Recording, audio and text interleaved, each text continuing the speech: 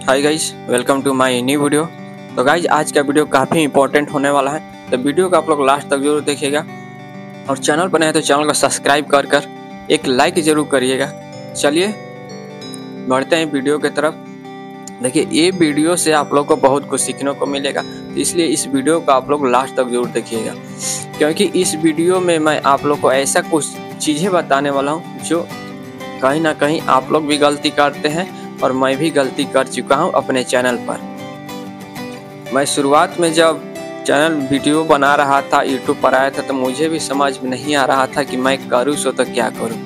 कभी मैं किसी और का वीडियो अपलोड कर देता था, कभी मैं किसी और वीडियो अपलोड कर देता था। मैंने तरह तरह का मेरा कोई एक कैटेगरी रीच नहीं था, जिसके चलते मेरा वीडियो काफ़ी ज़्यादा डाउन हुआ, नहीं चल रहा था।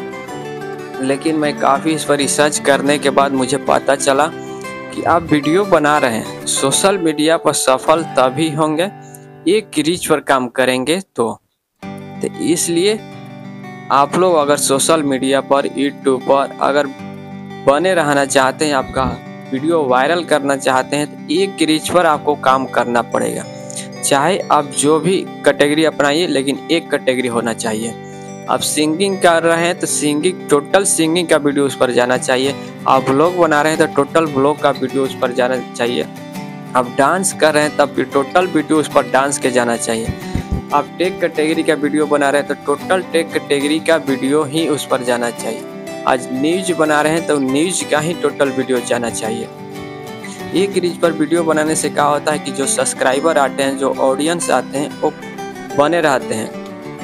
अगर तरह तरह का कैटेगरी अगर उस पर मिलावट कीजिएगा तो जो आपका सब्सक्राइबर है, वो कहीं ना कहीं इधर उधर पड़ जाता है, पूरा वीडियो नहीं देखते हैं, वहीं से आपका चैनल वहीं से आपका चैनल डाउन होने लगता है। तो अगर आप यूट्यूब पर सफल होना चाहते हैं तो आपको एक रीच अपनाना पड़ेगा। एक रीच पर वीडियो बनाना पड़ेगा। इस, जिस चैनल पर वीडियो आप लोग देख रहे हैं मैं भी ऐसा ही गलती किया था। शुरुआत में मेरे चैनल जाकर खोल कर देख सकते हैं। मैं कुछ ब्लॉग भी डाल दिया हूँ, कुछ इंटरटेनमेंट वीडियो भी डाल दिया हूँ, कुछ टेक वीडियो भी डाल दिया हूँ। लेकिन मुझे अब समझ में आया, उसके चलते मेरा चैनल काफ़ी डाउन हो चुका था। व्यू नहीं आ रहा था। शुरुआत में तो व्यू आया, लेकिन फिर काफ़ी ज़्यादा डाउन हो गया, क्योंकि सब्सक्राइबर बढ़ गए इधर उधर। काफ़ी ज़्यादा मेरा व्यू डाउन हो गया।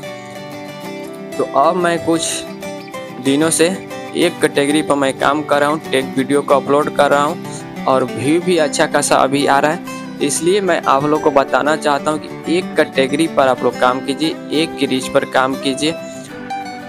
अगर आप एक रीच पर काम करते हैं तो अच्छा खासा आपका व्यू भी आएगा, अगर सब्सक्राइबर बेस बन जाएगा तो अच्छा खासा आपका इनकम भी होने लगेगा वीडियो से।